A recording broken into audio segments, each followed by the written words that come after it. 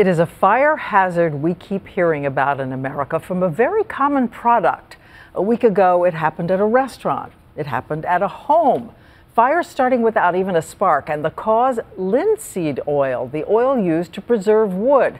It can happen in a split second, and ABC's Elisabeth Leamy sends out an alert tonight. My neighbor across the alley, their house is exploding.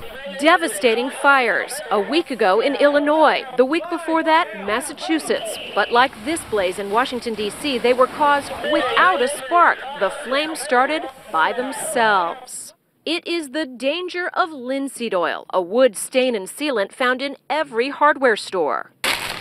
We're going to show you how it happens, tossing some linseed oil soaked rags and newspapers into a box.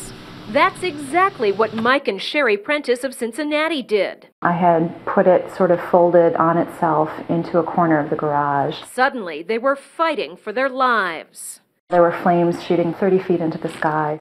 In our experiment, after just an hour, the linseed soaked rags have reached 110 degrees. Two hours in, we spot smoke. Linseed oil is safe for wood because you spread it out, but left on wadded up rags or paper, the oil is so concentrated that it heats up as it evaporates.